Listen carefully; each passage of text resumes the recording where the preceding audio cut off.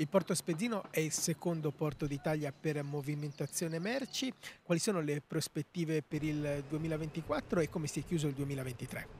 Il 2023 si dovrebbe chiudere con una flessione tra il 10 e il 12% rispetto al traffico contenitori. Eh, c'è stata una forte ripresa nel secondo semestre perché ricordiamoci come eh, partirono i traffici nel mese di gennaio dove si registrò il minimo storico rispetto alla storia del terminal. Quindi c'è stato questo recupero eh, che porterà diciamo, a, a chiudere l'anno con una flessione che è una flessione fisiologica e in linea con quella che è eh, la flessione avvenuta anche in molti altri scali del territorio nazionale, mentre per il 2024 le stime eh, parlano di una crescita, quindi per arrivare a circa 700.000 unità, quindi ci sarà una, una crescita ulteriore, dovremmo a, arrivare attorno diciamo, a dei volumi che erano quelli movimentati nel 2022. Certo che ci sono degli elementi di preoccupazione perché anche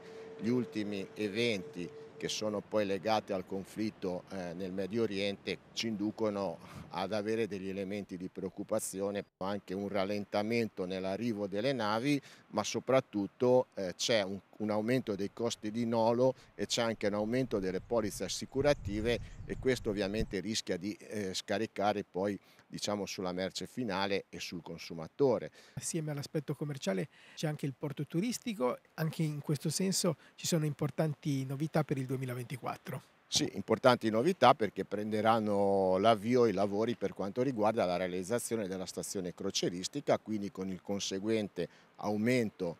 a partire dal 2026 perché ricordiamoci questa è la scadenza dei lavori previsti perché ci sono fondi eh, derivanti dal PNRR e quindi da quella data avremo l'aumento eh,